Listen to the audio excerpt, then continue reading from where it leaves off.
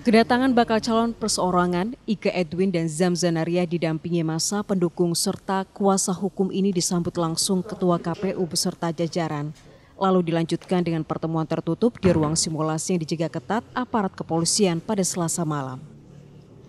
Kedatangan pasangan bakal calon perseorangan ini terkait hasil rapat pleno rekapitulasi verifikasi berkas dukungan bakal calon perseorangan yang berakhir ricuh pada Jumat malam lalu, di mana dari hasil putusan berita acara menyatakan pasangan Ike Edwin dan Zamzanaria tidak memenuhi syarat dukungan minimal.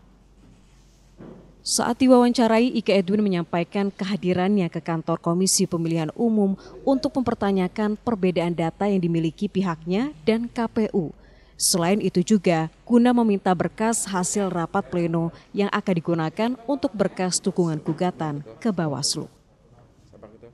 Baik, koordinasi kita hari ini tuh poin-poin yang kita sampaikan ke ya, ya saya um, kenapa sih kita apa uh, belum cocok dalam apa nilai mereka dapat di lapangan saya juga dapat di lapangan.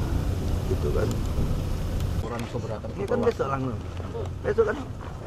Besok langsung ke sana. Kita kan ke Bawaslu ya Bu Hah? ke Bawaslu jam berapa tunggu aja kamu. Ya.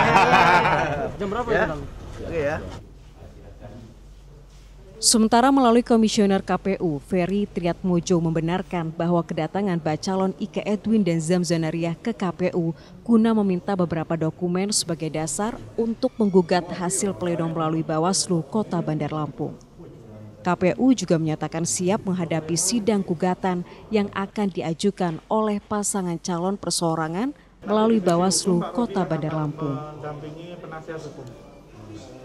sesuai dengan keberatan yang diisi oleh bakal pasangan calon masih terkait dengan data ya data yang diklaim oleh bakal pasangan calon sebanyak yang diajukan ketika rapat pleno di tingkat kota dan belum belum tuntas menurut bakal pasangan calon dan KPU tetap akan mempertahankan itu uh, dengan data-data yang kita miliki. Roma Afriya Idam, Kompas TV, Lampung.